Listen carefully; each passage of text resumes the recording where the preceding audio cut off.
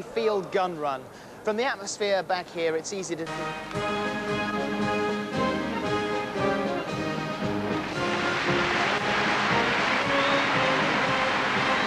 Here they come, marching to the tune of Hearts of Oak. Very much the highlight of the show, these events over the course of the tournament. Each crew races seven times against each of the other crews, and an overall winner is decided on aggregate timing. A four-minute run was first recorded in 1948, but in 1962, that was slashed to three minutes. The record, by the way, is actually two minutes 40.6, held by Portsmouth. It stood for 13 years. Will we see that broken tonight? You're about to see the Fleet Air Arm.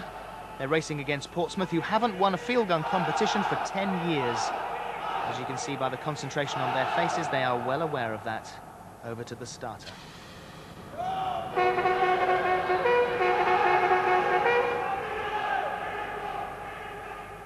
And away they go on the first leg of the run this evening. Now, once down at the Warwick Road end, they wheel everything around, and everything goes over the home walls. That's men, guns, limbers. Neck and neck at this stage. Now, in the centre, the sheer legs are set up with 28 feet spars to help carry the first two men of each crew across the yawning gap of the chasm.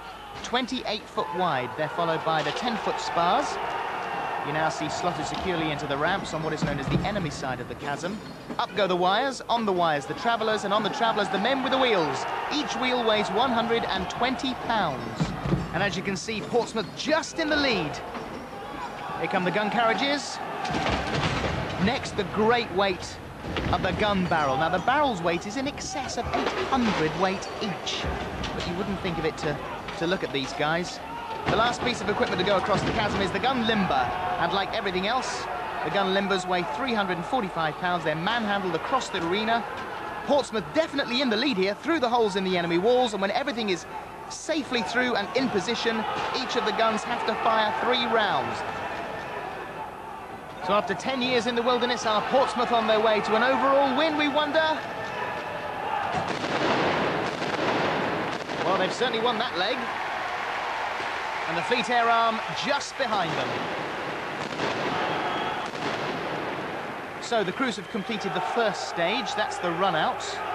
Now everything has to be properly prepared before the second stage, the run back, begins.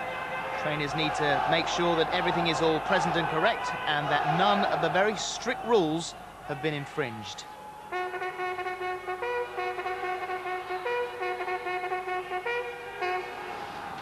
On to the second stage. Everything now goes over the enemy walls.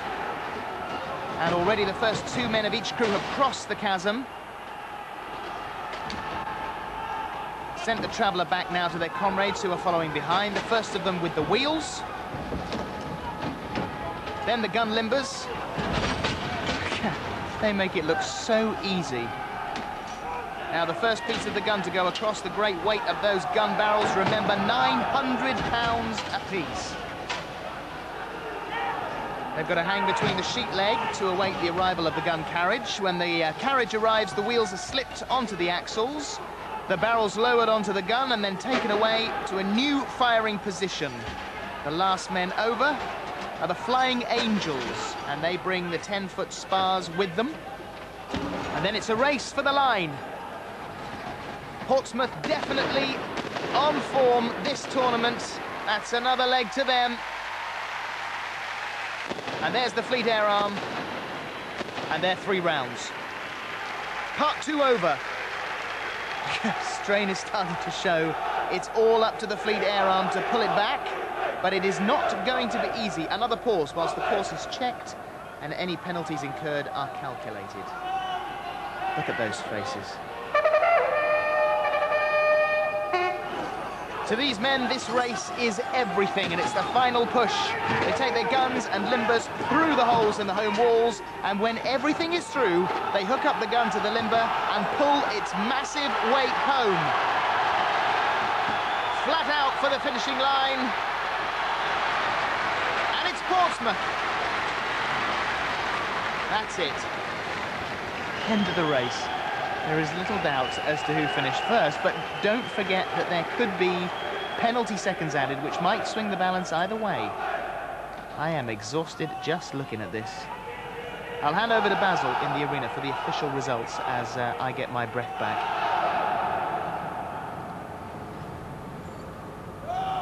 But for the moment, the running times are these. Fleet Air Arm, 3 minutes and 0.3 of a second. Portsmouth, 2 minutes 45.3.